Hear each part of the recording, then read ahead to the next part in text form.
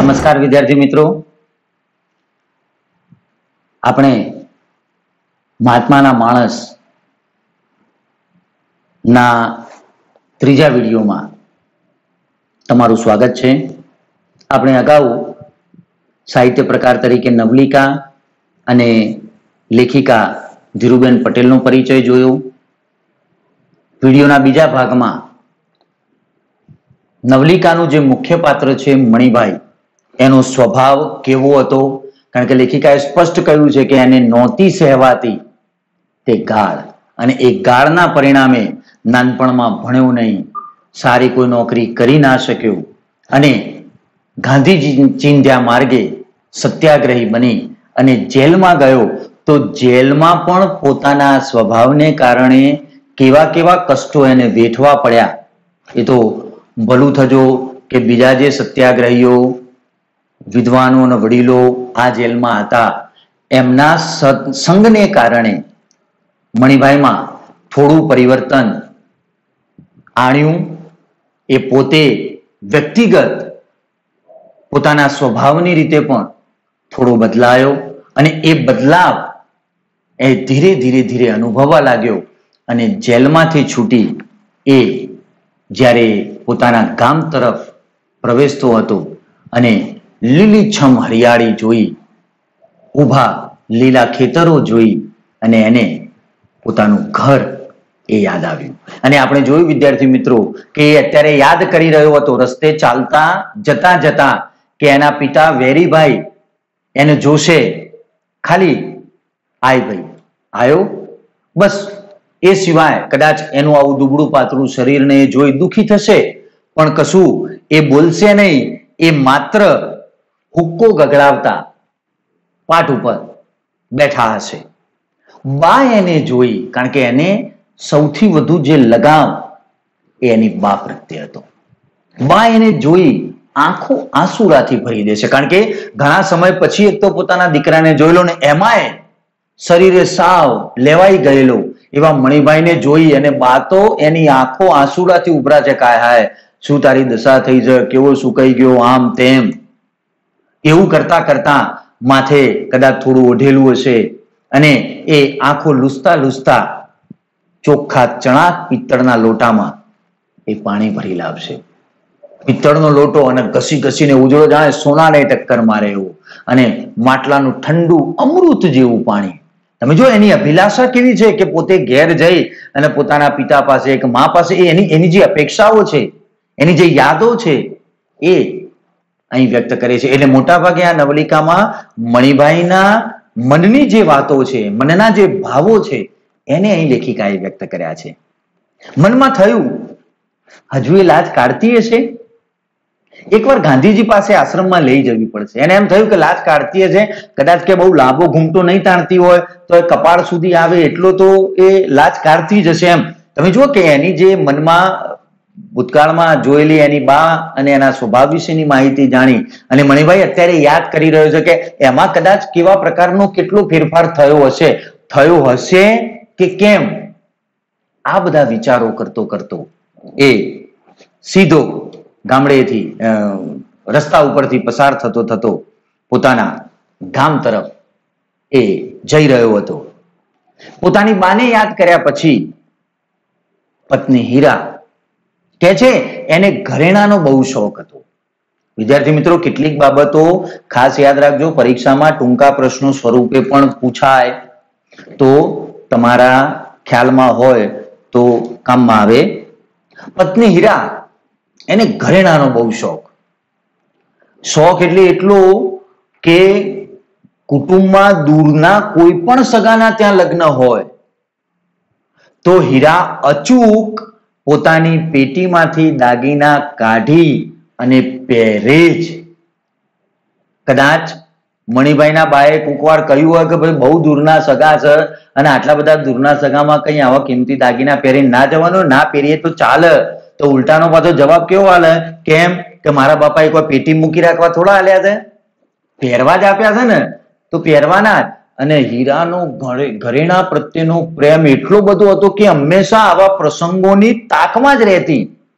કોઈ પણ નાનો એ પ્રસંગ હોય, દૂરનો એ હોય, પણ જવાનું થાય એટલે અચૂકપણે દાગીના ફરજિયાત પહેરતી. ઘણીવાર એના કારણે એની સાસુ અને હીરા બંને વચ્ચે રકજક થતી પણ હીરા પોતાનું ધાર્યું જ કરતી. અને એટલે અહીં લેખિકાએ પણ લખ્યું છે કે જ્યારે એનો ખોળો ભરવાના સમયે રોકડ રકમને બદલે, કારણ કે સ્વાભાવિક જ્યારે એનો ખોળો ભર્યો છે, ત્યારે જે કંઈ વ્યવહાર થતો છે, વ્યવહારના સ્વરૂપમાં કદાચ એના પિયરિયાઓએ કંઈક રોકડ આપવાની વાત કરી હશે તો એણે રોકડ રકમને બદલે સિંધિયા શાહી કડા કરાવીને ચંપી. રોકડ ને પૈસા તો ક્યાંક વપરાઈ જાય, પણ આ કળા તો ક્યાંક પ્રસંગમાં પહેરવા ચાલે એટલે સોના કે એવા ઘરેણા કે આભૂષણો પ્રત્યેનો હીરાનો જે પ્રેમ હતો, એ પણ બહુ જબરજસ્ત હતો. કારણ કે ઘરેણા વગરને હીરાની કલ્પના કરવી મુશ્કેલ હતી. અને મણિભાઈ આ બહુ સારી રીતે જાણતો. એટલે પોતાની પત્ની હીરાને પણ યાદ કરતો હતો. પોતાના દીકરાને પણ યાદ કરે છે કે જ્યારે એ સત્યાગ્રહી બનીને જેલમાં ગયો, ત્યારે માંડ માંડ કદાચ એનો દીકરો પાપા પગલી માંડતા શીખેલો. અને હવે તો એ પણ મોટો થઈ ગયો છે, એટલે એની પણ યાદ એને આવવા લાગી. આ ઉપરાંત એને થયું, ઘર જેમ જેમ નજીક આવતું ગયું, તેમ તેમ સિપાહીઓ લાઠી, કાંકરીવાળા રોટલા આગા જતા ગયા. કારણ કે હવે ઘર પ્રત્યેનો જે લગાવ હતો, ઘરના વ્યક્તિઓ પ્રત્યેની જે મમતા હતી, જે ચાહના હતી, એ એટલી તીવ્રતાથી પોતાના તરફ ખેંચી જતી હતી કે હવે પેલા સિપાહીઓ ને પેલી લાઠીઓ ને કાંકરીવાળા રોટલા ધીરે ધીરે ધીરે દૂર ચાલ્યા ગયા. એ એના મનમાંથી નીકળતા ગયા અને ઘર અને પરિવાર એની નજર સામે તરવરી રહ્યો હતો. સાથીદારો તો પાછા આવવા કહેલું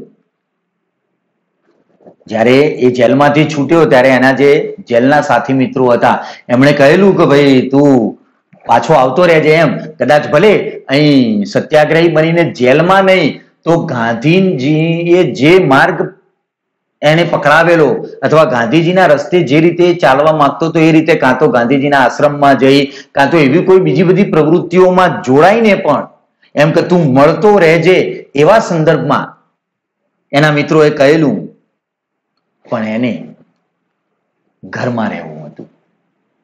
કારણ કે ઘણો સમય એ પોતાના ઘર અને પરિવારથી દૂર રહ્યો હતો. એને હીરાને મળવું હતું. બા અછોવાના કરે એ એને માણવું હતું. પોતાની બા, પોતાના દીકરા પ્રત્યેનો જે પ્રેમ, જે મમતા વ્યક્ત કરે, જે રીતે એના પ્રત્યેક સમયને આમ એક વિશેષ રીતે એની સામે ઉપસ્થિત કરે, એ એ જે ભાવો, એ જે કલ્પનાઓ અથવા ભૂતકાળમાં એ જે અનુભવો એને મેળવેલા, એ હજુ એને માણવા હતા.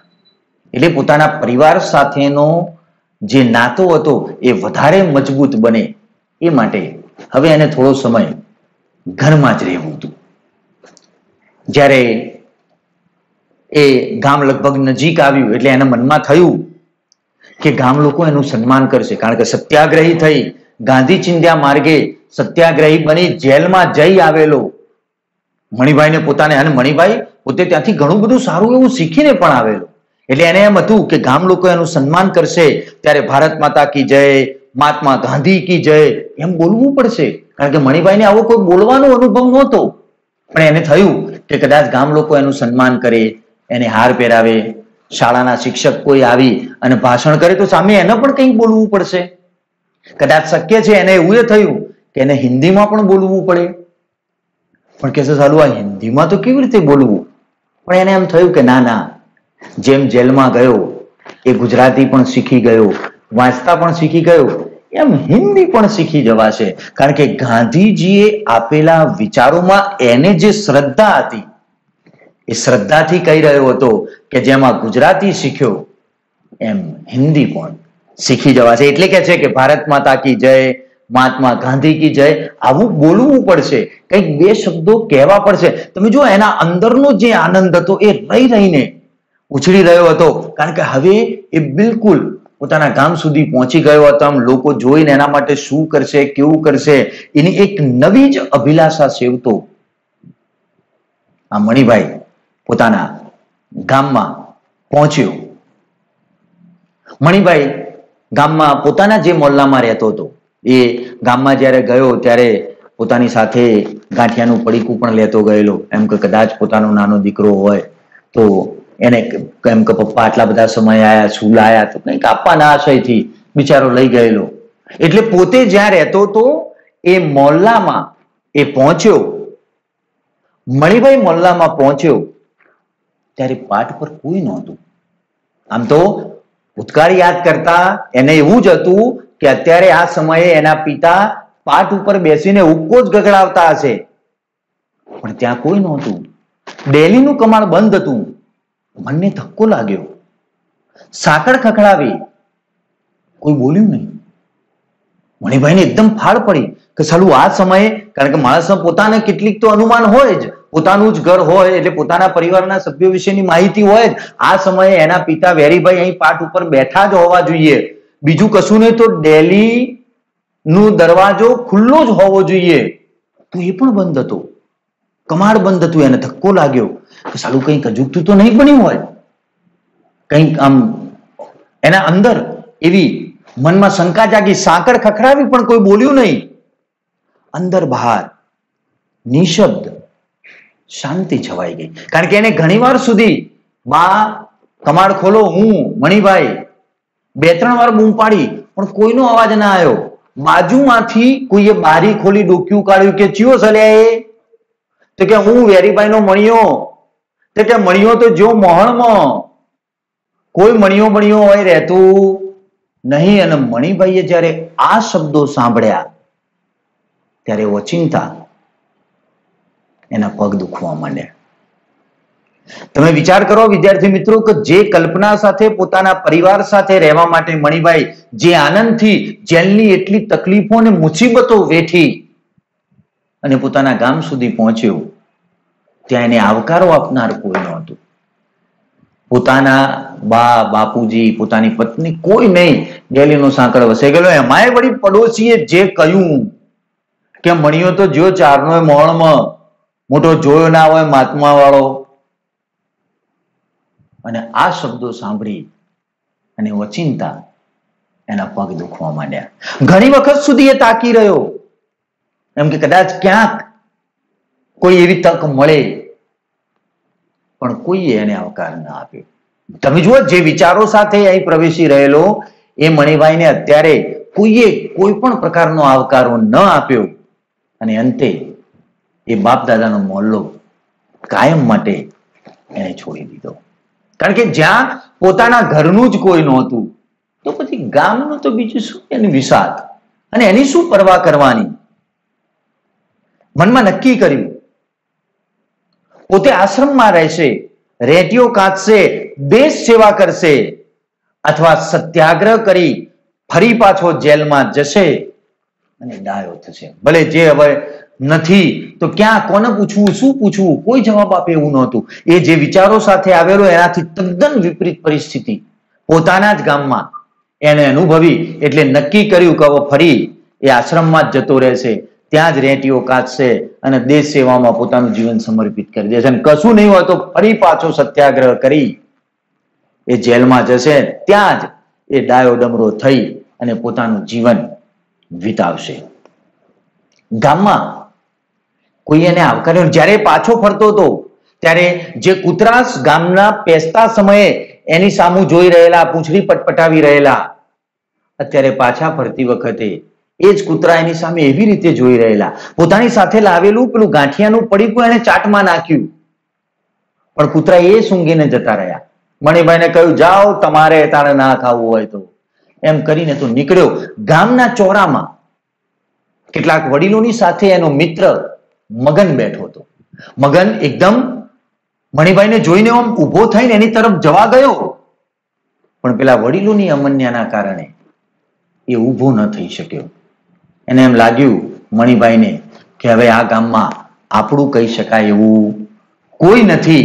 અને જ્યારે મગને પણ કશું ના કર્યું, ગામમાં કોઈએ પણ આવકારો ન આપ્યો, એટલે ગામ બહાર નીકળતા કોઈના મુખેથી સુંદરના ગામનું નામ સાંભળી એ એ તરફ વળ્યો. એટલે કોઈએ સ્વાભાવિક મગન હતો, પેલા બધા બેઠેલા, કોઈએ કશું કહ્યું નહીં અને કોઈનો આવકારો નહોતો એટલે સ્વાભાવિક એ મણિભાઈ પોતાની રીતે ગામ બહાર નીકળવા જતો ત્યાં કોકના મોઢેથી એને સાંભળ્યું કે ક્યાં ચાલ્યા, સુંદરણા કે શું? મણિભાઈએ વિચાર કર્યો કે સારું સુંદરણા પોતાનું કોઈ સગું તો રહેતું નથી. કોઈ એવો પરિચિત કે સગા સંબંધી પણ એવા કોઈ ગામમાં રહેતો હોય એવું એને યાદ નહોતું. એટલે એને લક્ષ આપ્યા સિવાય એ તો ત્યાંથી નીકળ્યો. એ તો સારું થયું કે રસ્તામાં એનો એક જૂનો મિત્ર જોઈતો રાત, એનું નામ, નામનો ખાલી ઉલ્લેખ છે.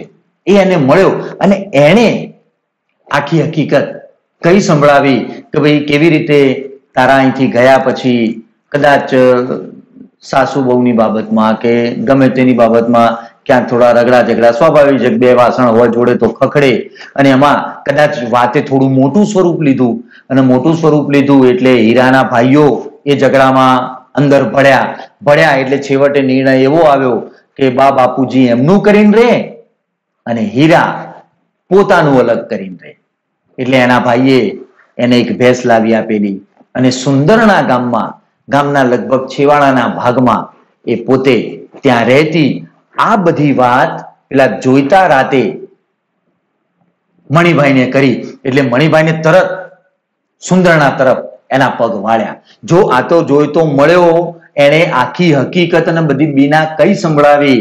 નહીં તો જો જોઈતો ના મળ્યો તો મણિભાઈ ગામમાં કોઈને પૂછવા નહોતો જવાનો. એણે તો મનમાં નક્કી જ કરેલું કે હવે અહીંથી સીધો આશ્રમ દેશની સેવા કરશે અને કાં તો સત્યાગ્રહી સત્યાગ્રહી બની જેલમાં જતો રહેશે હવે ક્યાંય બીજે જવું નહોતું. પણ આ તો ભલું થજો કે જોઈ તો રસ્તામાં મળ્યો. એને બધી હકીકત કહી અને મણિભાઈ ત્યાંથી સીધો સુંદરણાની વાટે ચાલ્યો. સુંદરણા પત્ની હીરા એકલી ઘર બાંધીને રહે. તે માન્યામાં નહોતું આવતું. કારણ કે હીરા જેવી પત્ની જેને ઘરેણાનો આટલો બધો શોખ હોય, જે આમ દરેક વાતે આમ પોતાને કંઈક સારું જોઈએ, કંઈક વિશેષ હોય, એ પ્રકારે રહેવા ટેવાયેલી આ હીરા આવા અજાણ્યા ગામમાં એકલી ઘર બાંધીને રે, એટલે એકલી રે એ સંદર્ભે જ એને એવું થતું હતું કે સાલું હીરા આવું સાહસ કરે. એ મણિભાઈના એમાં નહોતું આવતું. અને એમાંય જ્યારે એ સુંદરણા પહોંચ્યો, એ એ જે તે મોહલ્લામાં એ રહેતી હતી, ત્યાં પહોંચ્યો. ત્યારે ગામના છેવાડે આંગણામાં એક ભેંસ બાંધેલી. ખાટલા ઉપર હીરા અને એનો પુત્ર રાવજી એ બંને બેઠેલા અને ત્યાં આ મણિભાઈ જઈને પહોંચ્યો. અને હીરા તો મણિભાઈને એકદમ અચાનક આવેલા જોઈ ફટફટફટ ઊભી થઈ ગઈ. પણ મણિભાઈ ખાદીની જાડી સાડી અને દાગીના વગરની હીરાને અને એના બદલાયેલા રૂપને જોઈ રહ્યો. મણિબહેન તો એકદમ નવાઈ લાગી કે જે દાગીના વગર એને ચાલતું નહોતું, સારી રીતે, બધી જ રીતે યોગ્ય હોય એવી રીતે રહેવા ટેવાયેલી આ હીરા ખાદીની જાડી આવી સાડી અને એ પોતાનો આખો દેહ દાગીના વગરનો. એ તો બે ઘડી જોઈ જ રહ્યો, એને વિચાર જ ના આવ્યો. બંને પતિ પત્ની મળ્યા, એકબીજાની સુખ દુઃખની થોડી વાતો કરી. એણે કહ્યું કે તમે ઝટમટ હાથમાં ધોઈ લો, હું તમારા માટે જમવાનું બનાવું, તમે જમી લો, પછી આપણે બેસીને શાંતિથી વાત કરીએ. મણિભાઈને હજુ વિશ્વાસ નહોતો આવતો કે સાલું પોતે બદલાયો. એ કદાચ આવા સત્યાગ્રહીઓના કારણે મોટા માણસોને મળી કે છે, પતિ પત્ની મળ્યા બધી વાતો થઈ. પોતે મોટા માણસોને મળી બધું જાણીને બદલાયો. કારણ કે ગાંધીજીના સંપર્કમાં રહેલા એવા જેલના જે સાથીઓ હતા, એ સાથીઓ સાથે મળી વિદ્વાનોની વાણી સાંભળી અને પોતે બદલાયેલો.